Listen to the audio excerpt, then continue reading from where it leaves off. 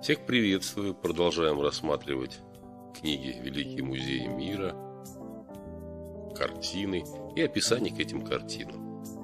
«Стрелок из лука», возможно, Каус. Могольская школа, 1620 год, бумага 28 на 19.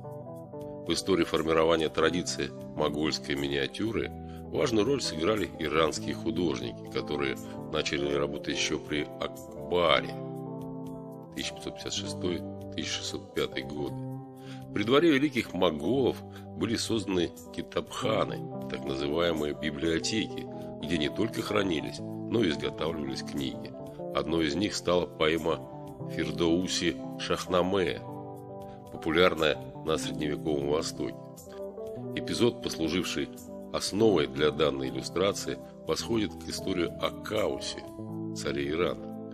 Однажды Див нечистая сила, приняв облик благородного юноши, явился к Каосу и рассказал ему, как можно легко взлететь на небо.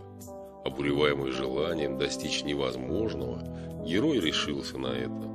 Он привязал к трону четырех голодных орлов, которые должны были тянуться к мясу, закрепленному над их головами. Таким образом предполагалось, что сильные птицы поднимут Каоса в небо, Однако из этой затеи ничего не получилось.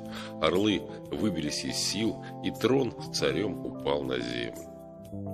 На миниатюре представлен Кавус перед полетом, стреляющий из лука в небо. За ним наблюдают всадники, выражающие различные чувства, от удивления, жест рукой вверх, и до сомнения, задумчивости, трет подбородок. Но вот такое описание из книги Великие музеи мира к работе стрелок из лука Каус.